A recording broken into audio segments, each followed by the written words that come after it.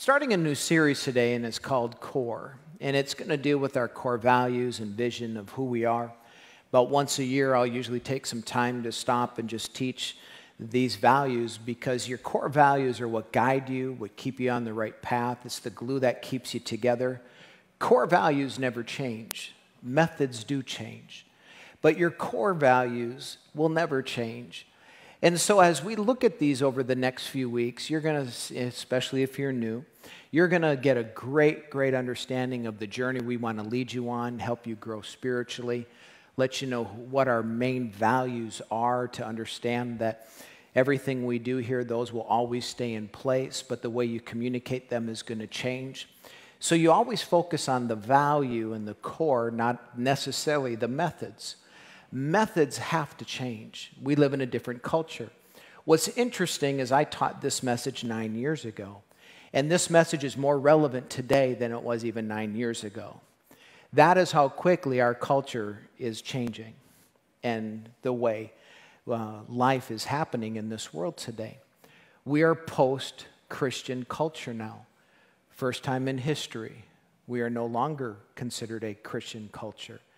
When people look at church nowadays, this younger generation, they know nothing about it. They view it as an event, just like going bowling or to a football game. They go and wanting to seek and find answers. And the thing is, is that just generation, most of them don't come because they don't see value in going. That is why we do everything we can to make Sunday the best thing that happens in your life all week because there has to be in this generation people go to Disney because they see value in Mickey ears. I'm just saying. But church has to have answers, it has to have values, it has to teach how to live your life. People are looking, how do you live? Where are answers found? Because they're finding you you, you're finding out everything on the internet isn't true. And you're not, all your answers aren't going to be there. But God does have all your answers. Amen.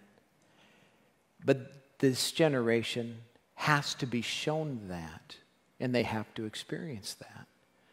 So we have five core values that we stand by. Today I'm going to talk about mi casa su casa. My house is your house, and what that means.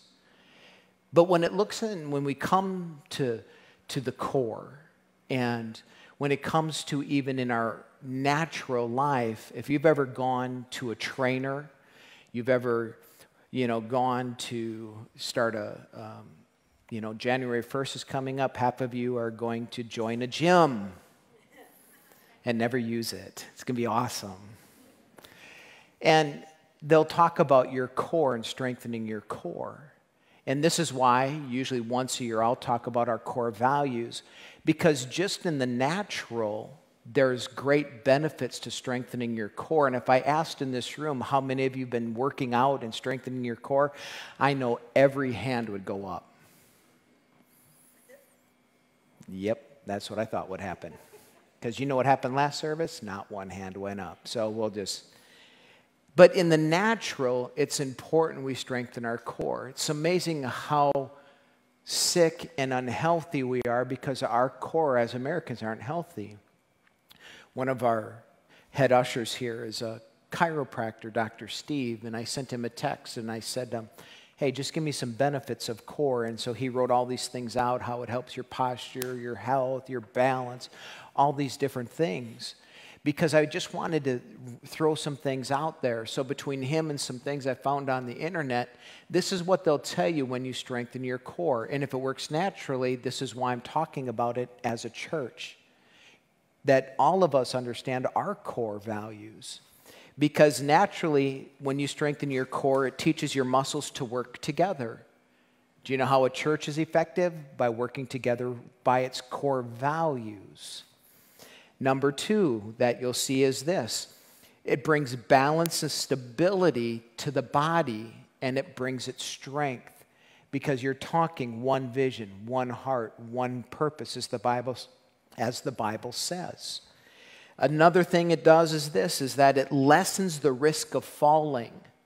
Do you know how many people fall out of church and fall out of Christianity because they have no core beliefs and values? Too many. It lessens, it, it helps the efficiency of the body. Another thing it does is I like this, it aids in the prevention of injuries. When you are strong spiritually, it will help you fight the enemy and what he tries to do. And understanding that, and I've done some great series this year along those lines of understanding how we fight by the armor of God and what that means. You can go online and look at that.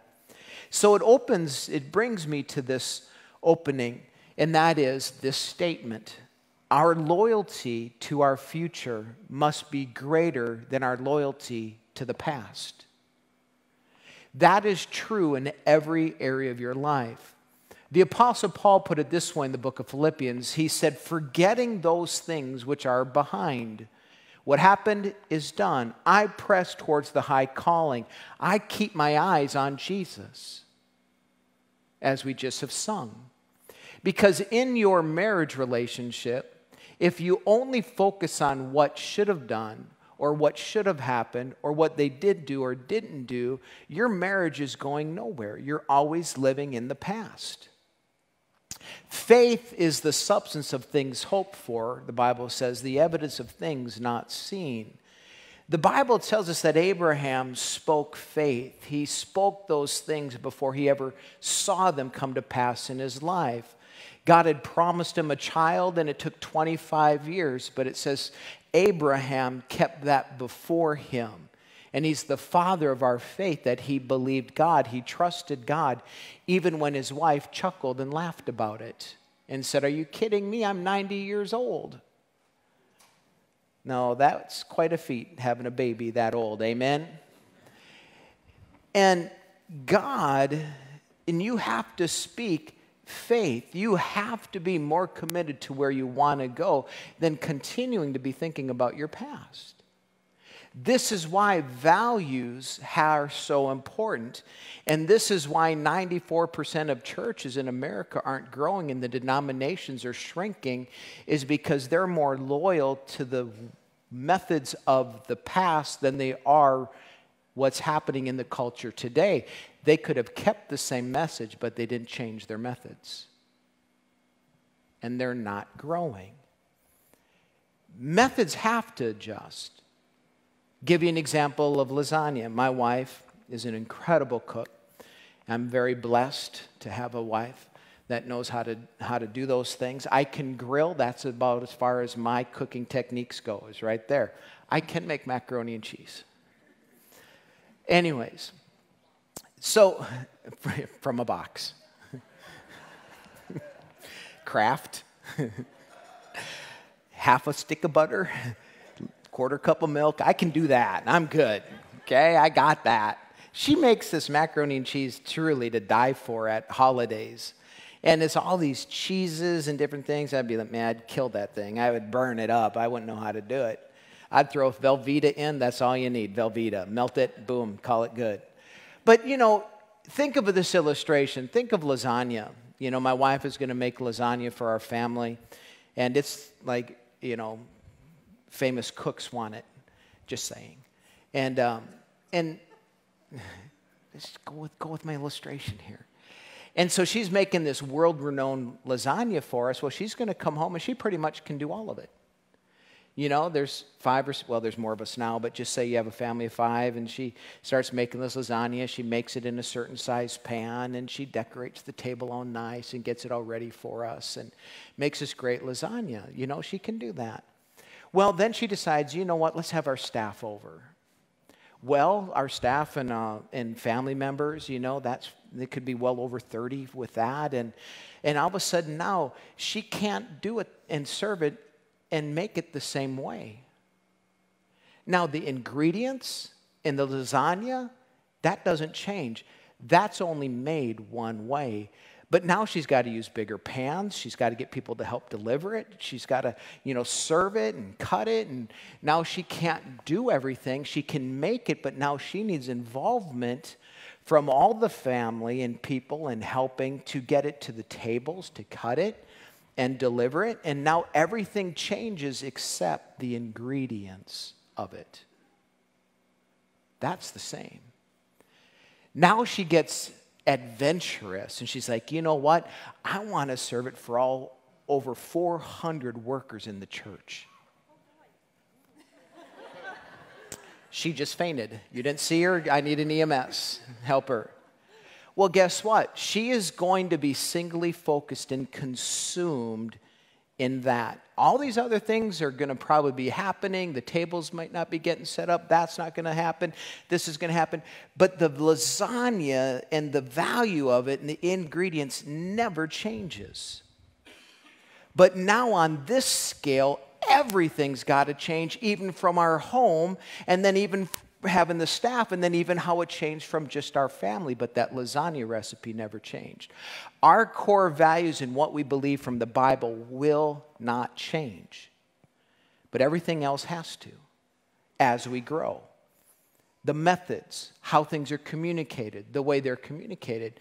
And that's why when I preached this message nine years ago and I started looking at this, I'm like, I need to bring this message out again on generations and how important it is that every single generation works together in the church of God. For the first time in history, there are five generations in the workplace. And for a business to be effective, all of them have to learn to work together. The same is true in a church all five generations have to work together if we're going to reach this city and reach this world. That's why when our big outreach, our first Christmas, White Christmas, comes up here in December, when we bring in the ice skating rink and we're bringing in the snow hill and we're having the four services and having our big special Sunday with our music, we want to reach this city. We want to let the community know that, you know what, church is fun, it's interesting, and you can come and find the answers to Christianity. But you got to remember the unchurched look at this as just another event, so why would they come? We need to be the method, people just don't show up Sundays like they used to. They just don't. We live in a post Christian culture. So what's interesting is December now has become it's becoming our big outreach month to our community. One of the things that we're doing is, and we've already done it, is this summer we, we filled 500 boxes full of toys for Christmas we sent to Guatemala. And we have 12 people. Jim, how many are going? 12? Is it 12? 12 people, around 12 people are going to Guatemala. They're going to join up with probably about 40 other church members from across the country, and they're going to distribute thousands of boxes to little villages and towns throughout all of Guatemala, and they're going to use that as a way to get people to Christ. I think last, last year, how many? 4,000? No, 20? 5,700 boxes went out. How many people got saved again? Was it a couple thousand? It was a couple thousand people gave their life to the Lord through that outreach. Incredible. My wife and I, and oh, let me, I'll come back to that in a second. Let me talk, remind me about Guatemala, come back to that. And then for the last, I don't know, five, six, seven years, we've been helping Salvation Army, and we've been partnering with them to bring Christmas to those that are less fortunate, that don't have anything for Christmas. And so, what we ask you to do this time of year is don't eat out as much, don't go to McDonald's as much, save your money. And then, as a church, we all go to Walmart together after service. And then we take the money that we have, whatever you're capable of doing, whether you can buy one toy or 10 toys, we just ask to show up and let's help the poor and do something. So in December, we're helping the poor, we're going into the world, and we're offering an opportunity for people to come to our services and find freedom through Jesus Christ who wouldn't come, but you're going to invite them to come to be on an ice skating rink in a snow hill. They're going to have fun, but they're also going to find the answers to what they're looking for and need. And that's Jesus Christ.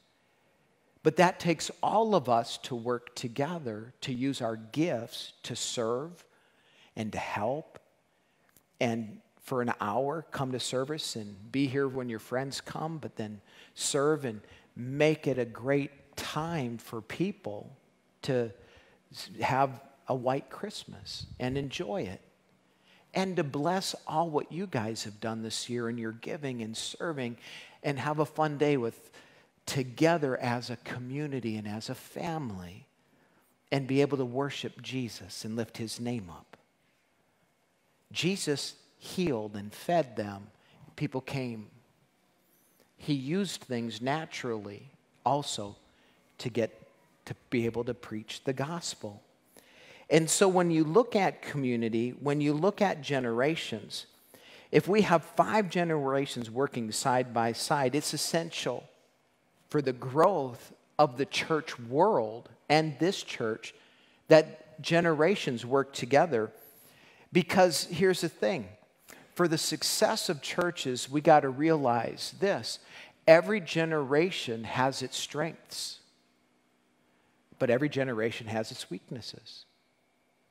And the way we are going to reach the world is coming together with our strengths, learn to work with each other's weaknesses so we can get the gospel of Jesus Christ to the world. So the key is this generational understanding, balance, and involvement. That is how the church world and this church is going to grow. Is understanding there has to be a generational balance, and involvement. Mi casa, su casa, this is how our value is. This is our first value, our core value. Now, not in order, we just have five. They can go in any order, but this is the first one I'm talking about. And it's mi casa, su casa, and this is how we define it. My house is your house. No matter your generation, culture, ethnic background, marital status, or age, you're welcome here. Our church is a reflection of the diversity that surrounds us. You look at this church and you watch everything. See, people, when they see themselves walking through the doors, they feel welcomed. They feel welcome. That's why whether you can play an instrument, whether you can sing, whether you can park a car, whether you're helping children's, whatever it is, when people come and they can see themselves represented there, it's like, I'm welcome here. And not only that, but you know, we need the involvement. Just like I, isn't it our bass player just got shingles? I, I just got shingles in July. That's no fun. You know, but where's the bass player? He had shingles. But guess what? I know some of you guys, you're old rockers out there. You should be up here playing. Come on. We'll let you even grow the beard like it was back with ZZ, you know? I don't want to ask which bands you all listen to. But, anyways, every generation has a strength and a weakness and has to be involved as we move forward. Psalms 89 tells us the contemplation of Ethan the Ezrahite says, I will sing of the mercies of the Lord forever. With my mouth will I make known your faithfulness to all generations. See, it's fascinating to me. The end of the Old Testament ends with generational divide. There was a generational gap. Something happened. I don't know what it was, but you know what? I think it's always been. Malachi ends with these words Behold, I will send you Elijah the prophet before the coming of the great and dreadful day of the Lord.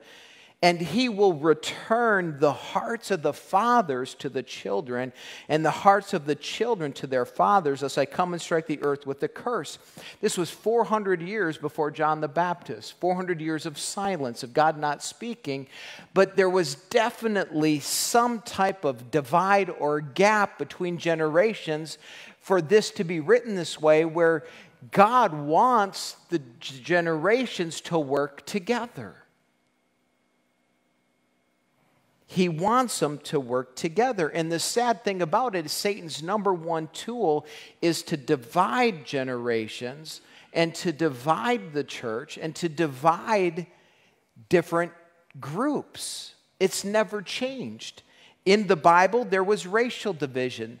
The Jewish Christians didn't like the Gentile Christians, they fought between each other. There's always been a gender division of male and female. Not only that, but to, even in this day, there's doctrinal differences. Do we dunk or do we sprinkle? I got sprinkled. Well, I got dunked. There's differences in the rapture opinion post, pre, or mid. Well, I believe, I believe in post tribulation rapture. That's fine. I don't. I believe in pre tribulation. When all the world is falling apart and judgment's being poured out, can I tell you what? I'm on that first plane right out of here. If you all want to stay, feed my dogs. take care of them while I'm gone, okay? Go to my house, take care of little Pasha and Parker for me. But I believe, but you can believe whatever you want. The matter is, is that do you believe in Jesus Christ? And there's core things you don't budge on. Salvation only comes through Jesus Christ. Amen. But you see all this stuff always going on through humanity. Not only that, but one of the most significant barriers facing to us today is the generational separation. Oh, the horrible millennials. And this and that. It, it, listen to these statements, okay? The children now love luxury. They have bad manners, contempt for authority. They show disrespect for elders, love to chatter in place of exercise. Children are now tyrants, not the servants of their homes, in helping in their homes. They are no longer rise when the elders enter the room. They contradict their parents, talk before company, and gobble up all the pastries at the table and tyrannize their teachers.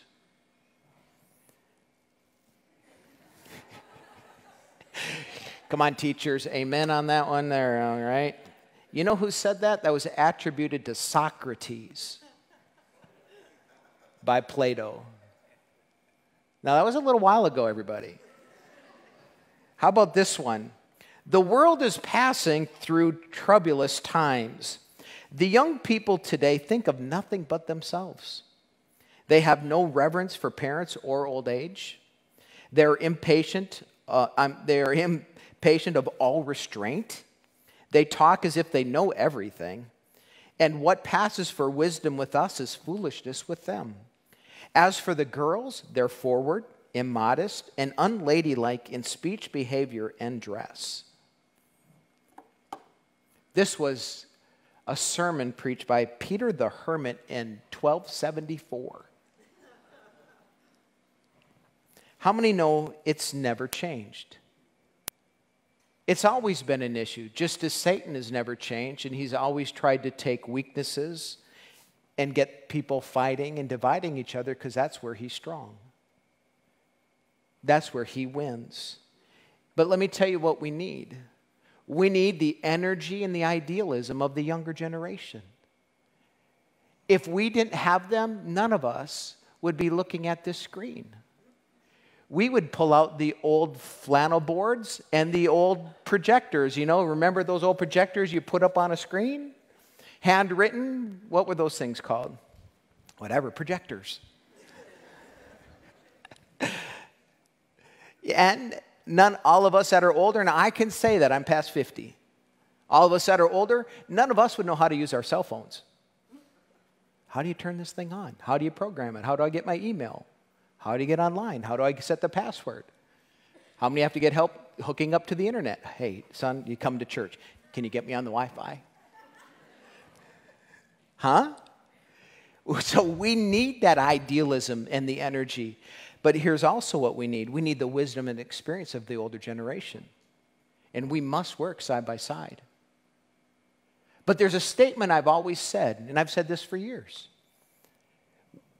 Because culture changes and we grow old, we always have to honor what people have done, but we always have to lean young and train the next generation.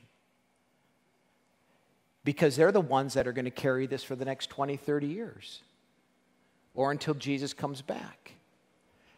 So it's interesting because now, you know, some people still come to church and they see the lights and the smoke and all of that. Like, oh my gosh, I've never seen that. You know, there's still churches that fight that today and they're dying. Here's the thing is Jesus getting exalted? The method is a method. But we still sing old songs, we still sing new songs. Because you honor, but you also have to reach the younger generation. And that's what the Bible's always taught, and that's what King David taught, and that's what he was so, so, so, his heart was about that we'll get to in just a second. But Satan's goal is for us to dis- get us to despise our differences. He wants the old not to want to work with the young, and he wants the young not to work with the old. He doesn't want different cultures and races, just the way he's done it. You know, when we talk about our value again, when it says ethnic background, marital status, age, welcome here, it was really interesting. It's really funny because, you know, we believe personally that you shouldn't live together before you're married. That is a person, that is a, a biblical standard that has always been. That you should wait until you're married to live together. But if I would ask for a show of hands here right now, and I'm not going to, how many people are living together, you would probably be shocked, astonished. But that's a sin according to Bible. And then you get the church out there fighting. See, the church world has only heard what the church is against, not what we're for. I want people to know what we're for. We're for health and wholeness. We want restoration in families. But we'll fight about homosexuality, but then we'll ignore the same truth when it comes to living together. So six years ago, I've had three couples come up to me today, and I'm, I'm, you know, I just love this. I got an inbox on Facebook because one couple has moved away. And then I've had two couples already come up to me today and they said, You know, Pastor, this weekend, six years ago, remember we did the I Do weekend. And what I did is I taught a message on this subject. And I said, If you are living together and you want to get married, I'm going to marry you.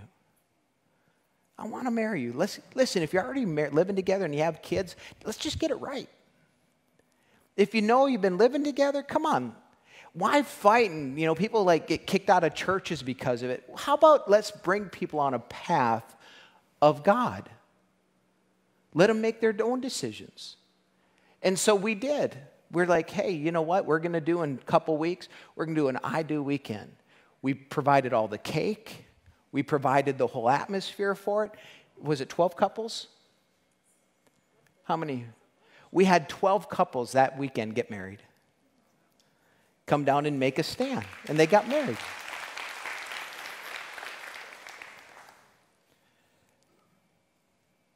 I just love God. He's so cool. But we can turn things into something it's not. Just think of some of these things this younger generation has done. See, we have to understand this. What is the potential of every church member? What's their potential? Because everyone in this room has potential of contributing something. See, it's the age of a person, it isn't as important as the quality of a person. And we're going to start getting our teenagers serving alongside of you because this is their church too. They love their church. And if you have a teenager, have them in the back during second service. But look at the quality. Think of some of these people that uh, did some great things when they were young. Mozart, first piano concert, age six. That's not me. Age seven, Helen, Helen Keller mastered the vocabulary of 625 words. Age 10, Thomas Edison set up a laboratory in his basement. Louis Braille, at age 15, started the Braille system. David in the Bible assumed kingship at 15. Well, he was anointed to be king at 15. Einstein wrote his first documents about theory of relativity when he was 16. Definitely not me. Joan of Arc led 3,000 soldiers at the age of 17 to victory. At 19, Bill Gates co founded Microsoft.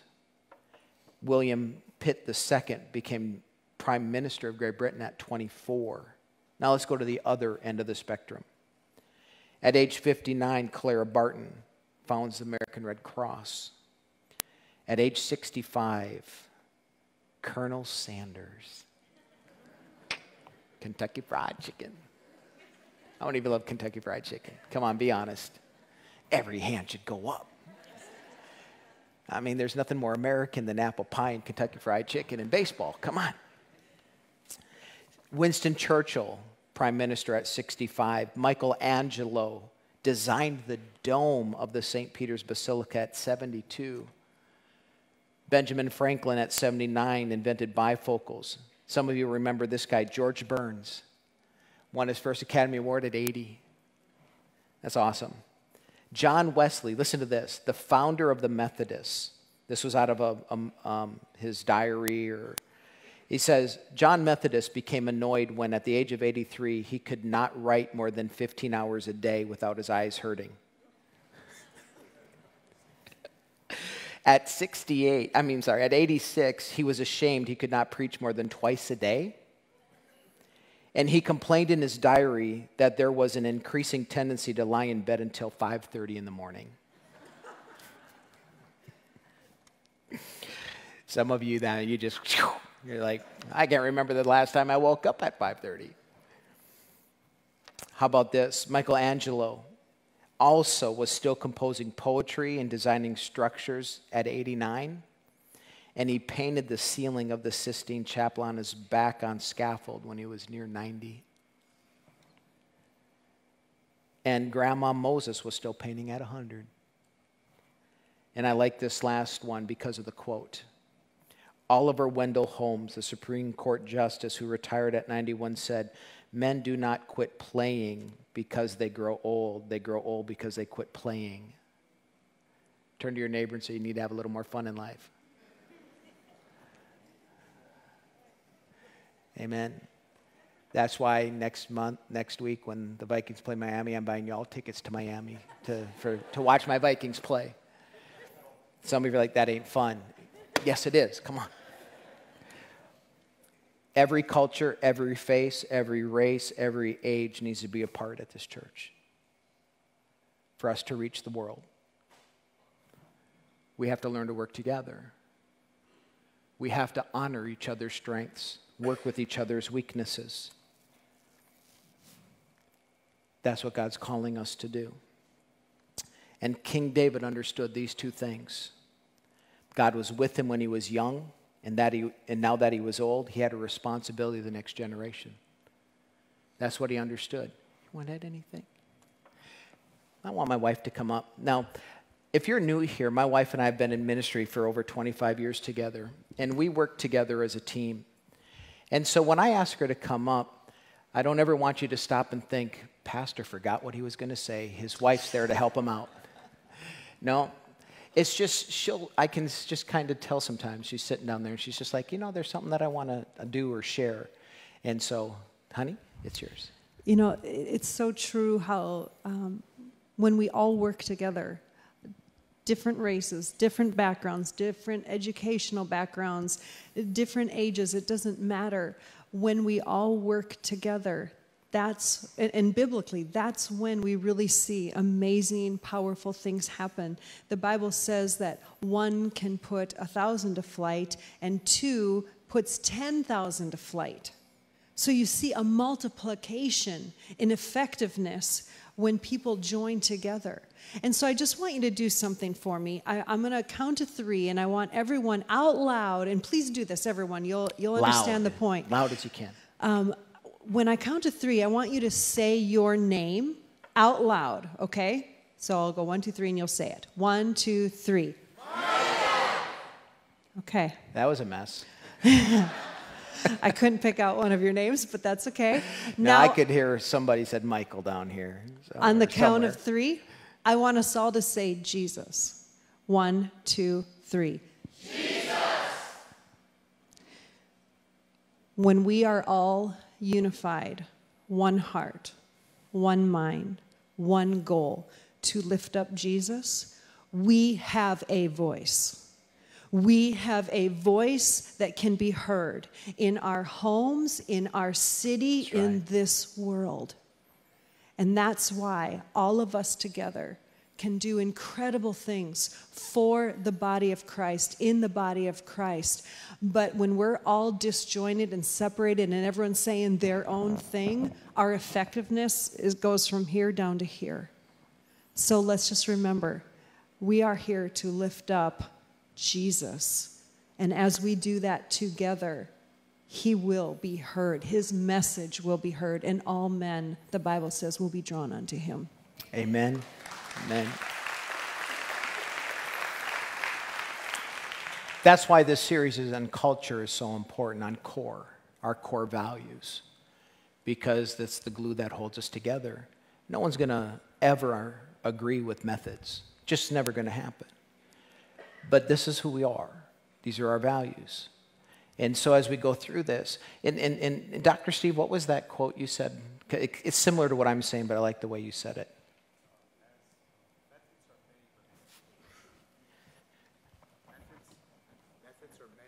Methods are many, but principles are few. But principles are few.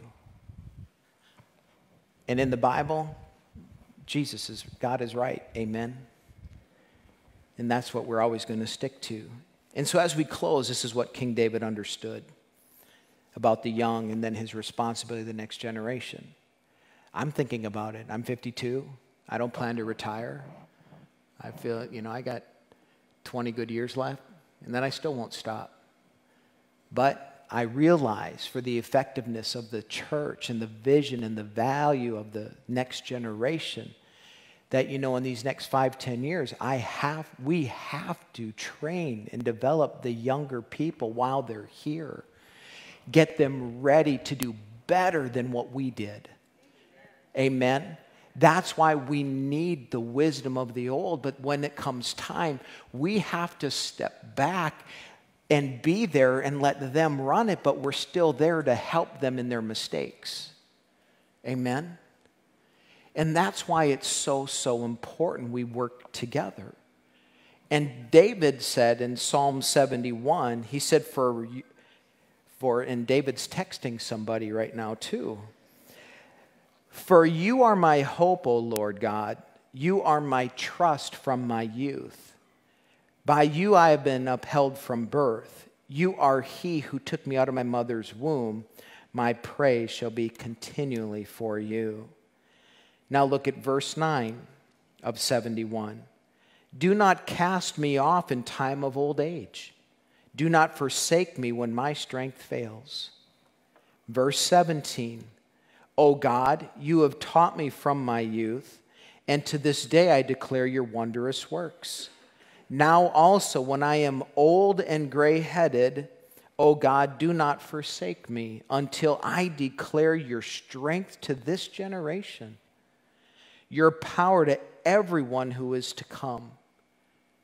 See, King David understood that he needed his strength and his wisdom to develop and to train the next generation.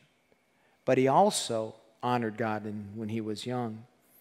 And then Psalms 145, verse 4 and 13. One generation shall praise your works to another and shall declare your mighty acts. I, I, I know the gentleman won't care who I'm going to give this story to, but after first service, this gentleman that had, it was interesting uh, because, you know, we believe in healing. And this gentleman had a really severe, severe back issue. And he went in for, for surgery and wasn't, he was, just said, Will you pray and agree with us for it to go well? Well, he went in for surgery, and it was something that could, you know, this situation could have pretty much put him in a wheelchair. He went in the surgery, just miraculously came through it, and within days, he, he, he, he came to us like, Man, I walked five miles.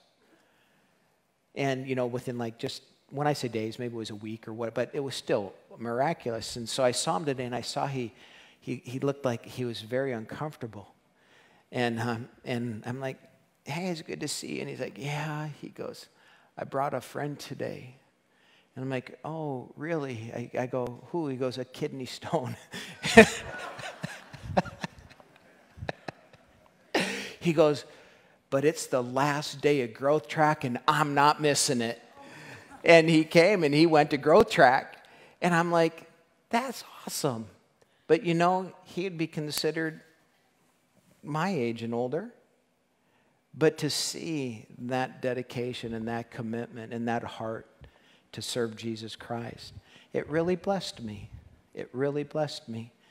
And now I'm going to end with my story about Guatemala and why this all matters. I want to show you a picture. You guys want to put that picture up? You know, my wife and I had the privilege you know, of going to Guatemala and preaching to almost 600 Bible school students. And it's the same group that does the shoe boxes. My wife and I did five, you know, the whole time we were there, we preached 16 times, uh, ministered. At night, we had services. We did, I did a series on freedom. And at night, they had praise and worship because it was in the church.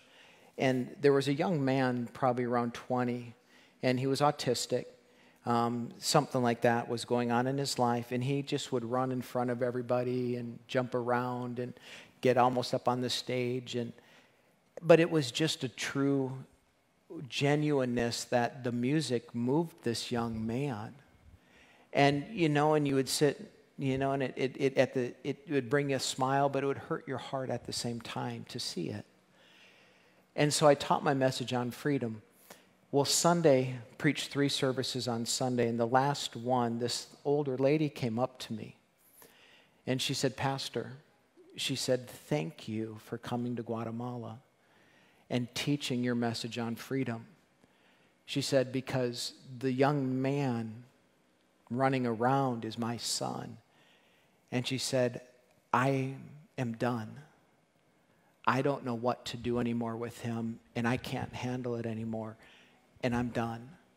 And she said, And you taught your message on freedom because I talked about my, the time when I went through depression and uh, I sure wasn't at my best during that time. And I talked how God restored and how I went and got help through a doctor because she go, I, because I was praying and praying and confessing and it wasn't changing. And she said this, she goes, I've been praying and praying. I've been taught prayer, prayer, confession. confession.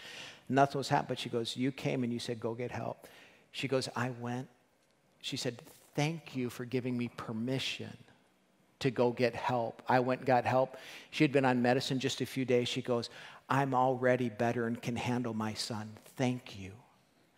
That is why we do what we do, everybody, is to see that happen. I was talking with Jim down beforehand because he's gone to Guatemala and he's been there. And the testimonies that you have when you go overseas and helping people, and you hear stuff like that, everything we do is worth it for that. That's why your giving, your involvement, you'll, some of you will never go to Guatemala. Some of you will next year. But because of your faithfulness, those Bible school students are going to 11 different countries. They're going to take the message of hope and help and they're going to change the world, and you had a part to play in that. So I want to say thank you to you guys. Let's, amen.